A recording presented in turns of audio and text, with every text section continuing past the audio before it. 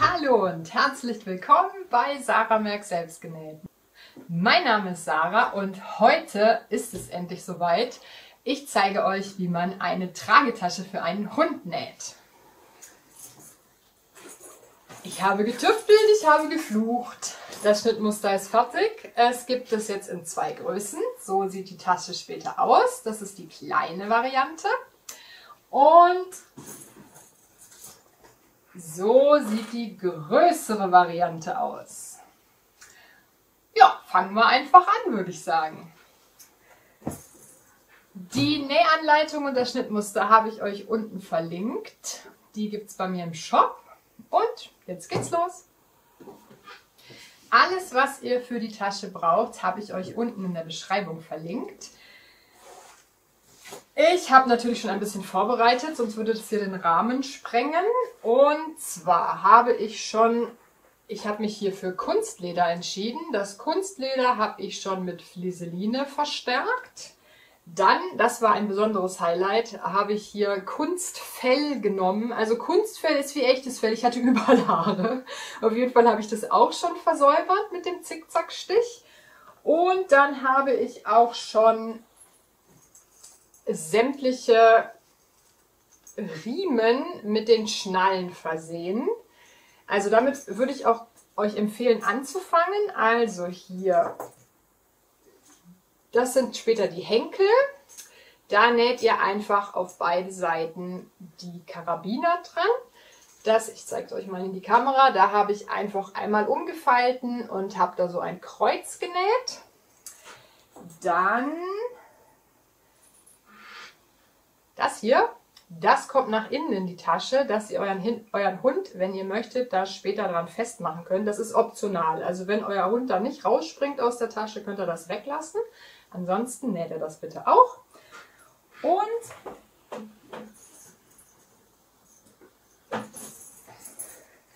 ich zeige euch heute, wie man diese, diese Variante näht, wo hier das Gurtband so zwischengefasst ist. Und dafür nehmt ihr euch einen D-Ring und da habe ich dann einfach so kleine Streifen drum genäht. Einfach hier oben einmal zugenäht und zwar viermal. Das habe ich auch schon vorbereitet. Uh, ja, das war's. ähm, kleiner Tipp zu der Flieseline. Wenn ihr euch die Flieseline unter die Stoffe näht, ich habe das hier einmal noch nicht ganz fertig gemacht, dass ihr das sehen könnt. Also schneidet euch die Flieselina immer ein bisschen größer aus, damit ihr später nicht irgendeine Stelle habt, wo die dann fehlt. Also ich mache immer so ein bisschen zu viel des Guten und dann schneide ich das später wieder weg. Ähm, die Reste, es ist auch keine Verschwendung, die Reste nehme ich dann einfach, um zum Beispiel äh, ein, etwas auszustopfen, zum Beispiel das kleine Osterhäschen, was ich euch letztes Mal gezeigt habe. Wir starten mit dem Außenstoff. Und dazu sucht ihr euch als erstes den Boden. Und dann näht ihr an den Boden rechts auf rechts. Das ist jetzt zum Beispiel das Vorderteil, das Vorderteil ran, dann dieses Hinterteil und die Seitenteile. Ich habe euch da oben ein Bild gemacht, wie es aussehen soll.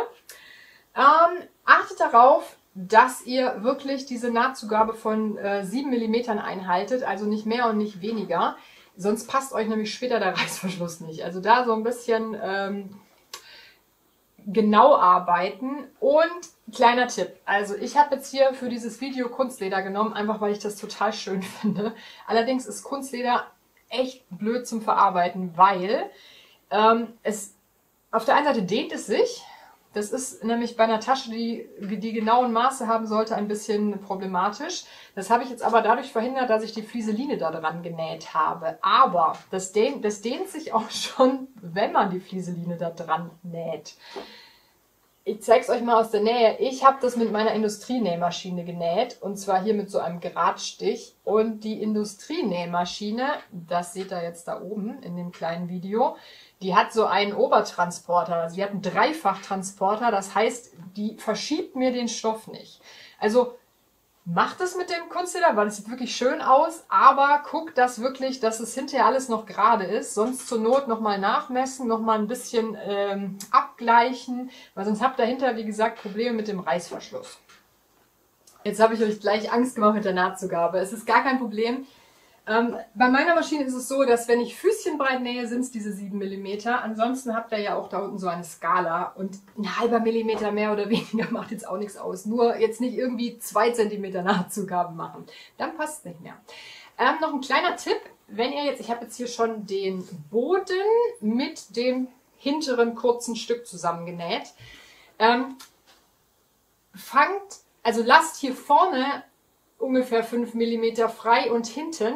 Dann habt ihr das nämlich später einfacher, wenn ihr dann hier diese Seitenteile miteinander verbindet. Dann ähm, könnt ihr das etwas schöner übereinander legen. Jetzt habe ich hier die Teile vom Außenstoff an den Boden angenäht. Als nächstes nehmt ihr euch jetzt hier diese kleinen ähm, D-Ring-Stückchen und dann markiert ihr euch hier an den langen Seiten, da markiert ihr euch, wo die hingehören, ich glaube 8 cm von außen, macht euch da so kleine äh, Markierungen hin. Und dann näht ihr die so rum, dass die so nach unten hängen, an den Stoff an. Und zwar das hier oben, 2 cm dass da zwei Zentimeter, die oben rausgucken. Wenn ihr das annäht, schaut, dass ihr das ganz knappkantig macht, damit man das später nicht sehen kann. Das muss auch nicht schön sein, es ist einfach nur, damit ihr das jetzt nicht später auch noch... Also wir nähen ja später den Reißverschluss an, was nicht ganz so einfach ist, ein bisschen knifflig. Und wenn ihr dann auch noch gleichzeitig immer diese Teile da richtig dran nähen müsst, dann verrutschen die. Deswegen fixieren wir die einfach vorher schon mal. Und kurz... Ähm, also diese Tasche ist wirklich für einen ganz kleinen Hund, ja, also was weiß ich, bis 4 Kilo. Ähm, wenn ihr einen schwereren Hund habt, dann näht diese Variante, ist alles in der Anleitung beschrieben, dass ihr einfach auf, den, ähm, auf die Außenseite einmal ein längeres Gurtbandstück aufnäht. Dann, dann hängt nicht das komplette Gewicht an dieser kleinen Mini-Naht da oben, sondern verteilt sich etwas über die ganze Tasche. Und wenn ihr dann nochmal auf Nummer sicher gehen möchtet, könnt ihr auch das Gurtband einmal unten noch durchführen. Dann ist es noch fester quasi verbunden. Aber jetzt zurück zu unserer Tasche für den wirklich kleinen Hund. Da machen wir das jetzt einfach so. Wenn ihr dann damit fertig seid, ähm, dreht ihr die Tasche wieder quasi so rum und nehmt dann rechts auf rechts jetzt diese Seitenteile und steckt euch die aufeinander und dann näht ihr die Seitenteile einmal zu. Und jetzt, ich habe euch ja vorher gesagt, 0,5 mm so ein bisschen Platz lassen. Jetzt guckt ihr, wenn ihr damit fertig seid, dass ihr wirklich ganz bis unten alle Löcher schließt. Ihr könnt dann später einmal kurz umdrehen und schauen, ob da noch irgendwo, ob man irgendwo durchgucken kann. Also das macht er jetzt mit den vier Kanten. Jetzt haben wir hier so ein schönes Kästchen genäht. Noch ein paar Praxistipps. Ich habe gerade schon die erste Nadel durchgebrochen. Wenn ihr auch Kunstleder nehmt, also ich habe euch jetzt unten einen 3 cm Volumenvlies ähm, verlinkt. Das ist auch hier dran. Ähm, also bei meiner Maschine geht es noch so gerade. Also ihr müsst ganz, ganz langsam nähen. Besonders mit Kunstleder, weil da hängt immer die Nadel so ein bisschen drin. Ich habe jetzt zwar schon... Äh, die Jeansnadel ist jetzt schon durchgebrochen. Ich habe keine mehr. Ich habe jetzt eine fast so dicke... Also nehmt eine starke Nadel. Und ähm, natürlich steht bei Kunstleder die Tasche schöner. Ich zeige euch kurz den Vergleich. Hier ist genauso viel Volumenvlies drin. Das ist aber so ein, so ein Jeansstoff, so ein ganz dünner. Das heißt, da wird die Tasche so ein bisschen schlabberig. Das heißt, wer eine schöne stehende Tasche haben möchte, Kunstleder. Also dieses Teil können wir jetzt mal zur Seite legen. Und dann geht es weiter mit dem Innenstoff. Der ist so kuschelig. Ähm, das wird jetzt eigentlich genauso genäht wie, das, äh, wie der Außenteil. Also ihr sucht euch als erstes den Boden. Ihr sucht euch als erstes den Boden vom Innenstoff. Und damit ihr die Tasche später waschen könnt, was jetzt bei Kurzleder natürlich Schwachsinn ist, ähm, aber für die Leute, die das jetzt aus Softshell oder Jeans oder irgendwas nähen, da nähen wir jetzt einen Reißverschluss rein, weil ähm, ich empfehle euch in die, in die Tasche, wenn ihr fertig seid, unten so eine Verstärkung reinzulegen. Ihr habt so Taschenböden. Ähm, ich habe euch unten verlinkt, das ist so eine äh, Plastik- Matte, wo man eigentlich einen Stuhl draufstellen kann. Das wurde mir empfohlen, dass das funktionieren würde. Ich habe jetzt ähm, für meine Taschen, ich habe einfach LKW-Plane genommen, weil es aus meinem Job einfach ganz viele LKW-Plane gibt und habe ein paar äh, Schichten übereinander genäht. Es biegt sich aber durch. Also ihr braucht auf jeden Fall, jetzt vielleicht noch nicht bei der Größe S, aber bei der größeren Größe braucht ihr eine Verstärkung für den Boden. Und damit ihr den da rein und rausnehmen könnt, wenn ihr das Ganze waschen wollt, brauchen wir den Reißverschluss. Wenn ihr jetzt sagt, scheiß auf den Boden brauche ich eh nicht, könnt ihr die Sache jetzt mit dem Reißverschluss weglassen und macht da einfach nur eine Wendeöffnung an der Stelle. Also alles gleich, nur ohne Reißverschluss. Ähm, und dann brauchen wir jetzt noch diesen ähm, Anbindehaken, wer den haben möchte. Und dann, also ich erkläre jetzt einmal die Geschichte mit dem Reißverschluss. Den Reißverschluss rechts auf rechts. Ich hatte keinen, also ihr braucht da einen ähm, nicht teilbaren Reißverschluss. Ich hatte natürlich wieder keinen in der richtigen Größe, habe mir einfach einen gebaut. Den Reißverschluss rechts auf rechts auf den Boden aufstecken und einmal hier festnähen. Der Reißverschluss ist rechts auf rechts angenäht. Und jetzt nehmen wir uns so ein langes Stück für eine lange Seite und legen den dann wieder rechts auf rechts auf den Rest, der jetzt noch nicht angenäht ist. Also hier ist der Reißverschluss, hier ist das lange Außenstück und nähen das jetzt wieder fest. Jetzt ist der Reißverschluss zwischen den beiden Stoffen. Jetzt müssen wir hier oben noch die beiden Stoffe rechts auf rechts aufeinander legen und das noch zusammennähen und zwar so ein Stückchen weiter als da, wo der Reißverschluss, ich habe jetzt hier wie gesagt so ein bisschen versäubert, ähm, also ein bisschen drüber hinaus auf beiden Seiten zunähen. Hier müsst ihr jetzt natürlich keine 7 mm einhalten, also ich habe jetzt einfach so ein Stückchen länger hier so ein bisschen schräg reingenäht. Und wenn wir es jetzt umdrehen, seht ihr, der Reißverschluss ist jetzt dazwischen und er ist dazwischen. so, jetzt nehmt ihr euch die andere lange Seite und den Ring und dann müsst ihr erstmal gucken, hier ist der Boden also zwischen den Boden und die andere lange Seite fasst ihr jetzt einfach hier den, ähm, das Gurtband dazwischen, wenn ihr die beiden Stücke aufeinander näht. Jetzt ist hier auf der anderen Seite dieses Gurtband eingenäht. Bei den anderen, also bei allem anderen jetzt wieder die 7 mm beachten, Nahtzugabe. Jetzt nehmen wir uns hier noch die vorderen Stücke, also einmal hier das kurze Stück für hinten und einmal dieses mit dem Ausschnitt für vorne und nähen das genauso an den Boden ran, wie wir das bei dem Außenstoff gemacht haben und anschließend dann wieder die Kanten zusammennähen. Das ist jetzt das Innensäckchen hier. Sieht eigentlich genauso aus wie außen. Ganz wichtig, jetzt einmal den Reißverschluss aufmachen. Da wird nämlich später die Tasche durchgewendet und dann könnt ihr dieses Teil jetzt auch nochmal zur Seite legen. Und jetzt nehmen wir uns wieder hier den Außenstoff. Und jetzt, also der Reißverschluss kommt ja jetzt hier oben hin. Jetzt äh, nehmt ihr euch mal die Schere und schneidet alle ähm, Nahtzugaben so ein bisschen zurück, die jetzt da im Weg sind. Besonders hier vorne, hier ist ja diese, Hier ist ja diese Rundung und hier liegen jetzt nämlich mehrere Nahtzugaben so blöd übereinander. Also da so ein bisschen kürzen, Vorsicht, nicht in die Naht schneiden logischerweise, aber damit ihr da jetzt nicht gleich so einen Bollen habt, den ihr drüber nähen müsst. Als nächstes, wenn ihr das so ein bisschen gekürzt habt, die Nahtzugabe, ich habe jetzt auch mal ein bisschen noch hier die Flieseline so ein bisschen gestutzt, dann macht ihr euch eine Markierung. Einmal hier die Mitte der hinteren kurzen Seite, einmal markieren, hier innen ganz klein und vorne die Mitte der kurzen Seite. Also, grundsätzlich ist die Tasche nicht wirklich schwierig zu nähen. Das Einzige, was wirklich ein bisschen tricky ist, ist jetzt dieser Reißverschluss.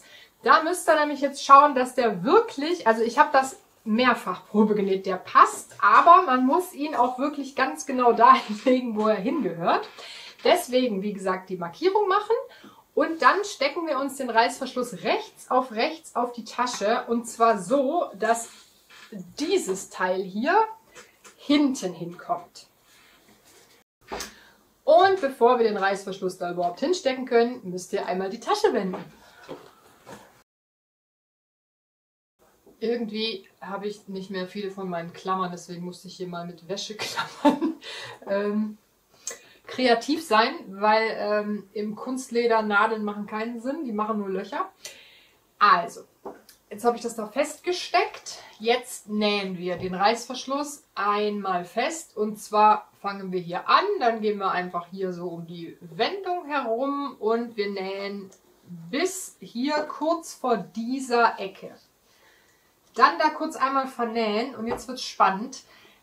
Ähm, dadurch, dass man nicht hundertprozentig immer diese 7 mm Nahtzugabe einhalten kann, auch wenn man sich noch so bemüht, muss man jetzt hier ein ganz klein bisschen tricksen an der Sache. Das heißt, wenn ihr hier angelangt seid, hört ihr da erstmal dort oben auf zu nähen und näht dann erstmal diesen Teil vom Reißverschluss hier an die Mitte. Vorher noch diese komischen Zipfel hier ein bisschen kürzen, weil der andere Reißverschluss kommt ja später von der anderen Seite und trifft sich dort. Also die Zipfel kürzen und ein bisschen abflammen, damit das nicht aufgeht. Und dann näht ihr das genau an die Stelle, wo das hinterher hin soll. Und näht dann quasi in diese Richtung weiter, bis ihr jetzt hier oben an dieser Wendung angekommen seid. Und je nachdem, wie ihr genäht habt, kann es sein, dass ihr jetzt ganz außen ähm, euren Reißverschluss hin legen müsst oder ihr könnt einfach so ein bisschen die Ecke abrunden. Also ich habe jetzt bisher jedes Mal ein Stückchen abschneiden können bei meinen vier oder fünf Taschen, die ich davor genäht habe. Ähm, es kann aber jetzt sein, dass ich irgendwie das zu eng zusammengenäht habe, dass ich jetzt wirklich hier dieses Eck aus ausnähen muss. Wichtig ist an der Stelle, wo dann diese Rundung ist, ein bisschen den Reißverschluss, ein bisschen, den Reißverschluss ein bisschen einschneiden, damit ihr den schön in die Wendung reinlegen könnt.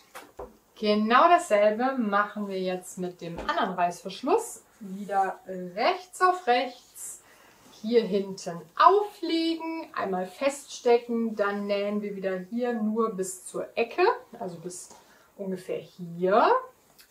Und dann nähen wir von der Seite wieder Richtung Ecke und dann hier wieder ein bisschen abrunden.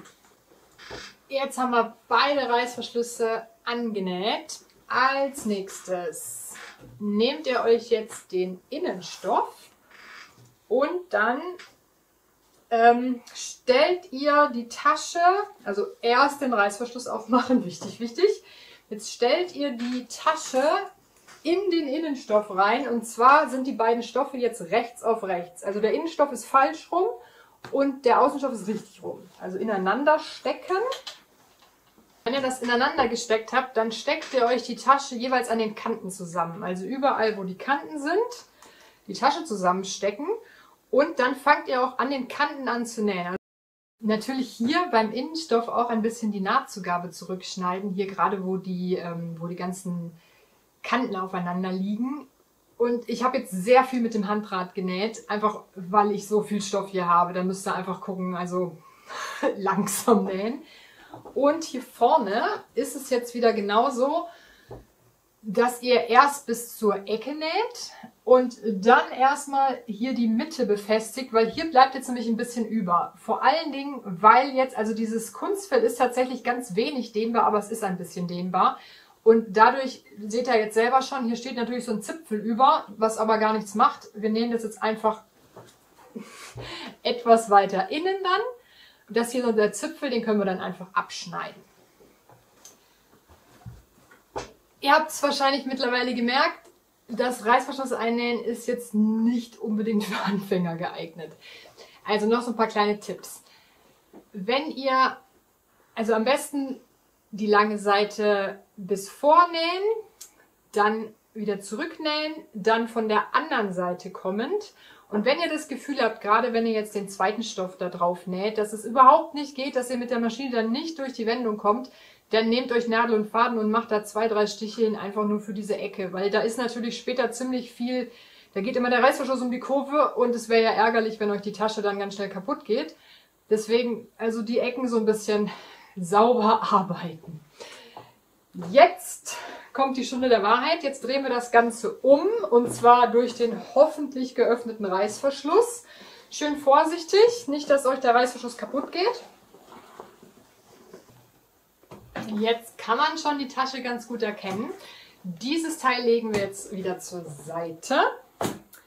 Und jetzt kommt zur Abwechslung mal was wirklich Einfaches.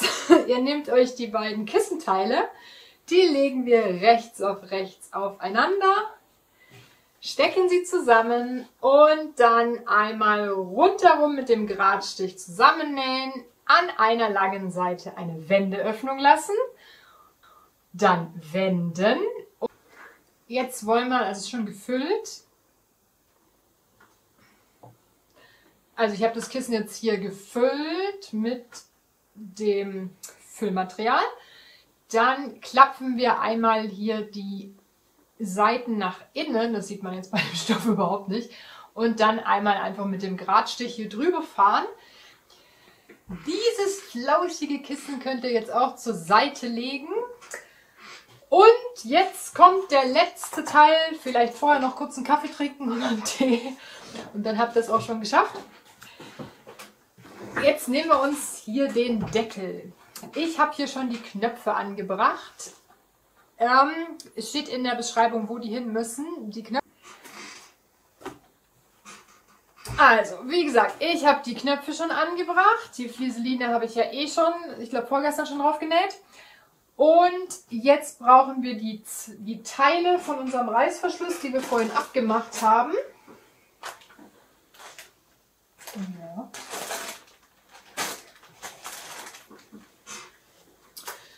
Dann markiert ihr euch wieder vorne in der Rundung die Mitte des Stücks und hier hinten die Mitte. Und dann steckt ihr euch den Reißverschluss wieder rechts auf rechts auf den Deckel drauf. So, jetzt ganz wichtig, damit ihr den Reißverschluss nicht fünfmal wieder abmachen müsst, fangt an der Rundung an zu nähen. Näht den kompletten Bereich ganz ordentlich aus. Hier an der Wendung wieder ein bisschen den Reißverschluss einschneiden. Dann näht ihr wieder bis zu diesem rechten Winkel da hinten und hört davor wieder auf. Und dann macht ihr es genauso wie bei der Tasche. Dann fangt ihr wieder hier von der Mitte an und näht in die Richtung. Und dann schaut ihr, ob ihr die Ecke ein bisschen einkürzen müsst oder ob der Reißverschluss wirklich hier einmal ganz nach außen vorbei geht. Da sind jetzt beide Reißverschlüsse angenäht. Jetzt haben wir noch den, den Stoff, der nach innen gehört. Ich habe jetzt nicht dieses Kunstfell genommen, sondern einfach ein Stück Baumwollstoff, weil ich finde jetzt, das Kunstfell muss der Hund ja nicht auf dem Kopf haben. Und ähm, achso, ich habe übrigens jetzt hier nur 2 cm Flieseline genommen, weil, also den Deckel müsst ihr jetzt nicht so extrem polstern. Da reicht es, wahrscheinlich hätte es auch gereicht, wenn ich den jetzt überhaupt nicht gefüttert hätte, weil es macht ja keinen Sinn, wenn da oben so ein schwerer Deckel drauf ist, der drückt ja nur die Tasche runter. Allerdings, weil das Kunstleder sich halt verzieht, habe ich halt doch ein bisschen Flieseline drunter gemacht. Ähm, genau, also jetzt nehmen wir Jetzt hängt natürlich überall dieses Kunstfell an dem Baumwollstoff, ob das jetzt die richtige Idee war. Egal. Ähm, ihr legt jetzt rechts auf rechts die beiden Stoffe aufeinander, dass der Reißverschluss zwischen den Stoffen ist. Da ist er. Und dann näht er das wieder einmal rundherum fest. Jetzt haben wir auf beiden Seiten den Stoff und wir haben jetzt hier noch die Wendeöffnung. Die Wendeöffnung einfach wieder den Innenstoff einmal umfalten. So nach innen und dann steppt ihr einmal hier auf der Seite, wo ich das Kunstleder habe, einmal komplett um den Deckel herum und dann habt ihr damit halt die Wendeöffnung geschlossen und der Deckel ist nicht so bockig, dann könnt ihr den später besser benutzen. So, die Hundetasche ist fertig. Hier habe ich die Henkel dran gemacht. So sieht sie von innen aus. So richtig wie so ein richtiges flauschiges Körbchen. Hier ist das Festbindehäkchen. Und den Deckel habe ich hier oben schon dran gemacht. Den kann man jetzt zumachen. Und hier vorne können wir dann den Deckel wahlweise bis ganz vorne zumachen oder mit dem Druckverschluss einmal festmachen. So, ich hoffe, euch hat das Video gefallen. Übrigens, wenn ich 1000 Abonnenten zusammen habe, werde ich mir mal gescheite Lampen kaufen, weil jetzt ist heute die Sonne reingeschieden, dann war es wieder dunkel, also ich glaube, es ist fürchterliche Lichtqualität. Also abonnieren, damit ich mir eine Lampe kaufen kann. Und dann bis zum nächsten Mal.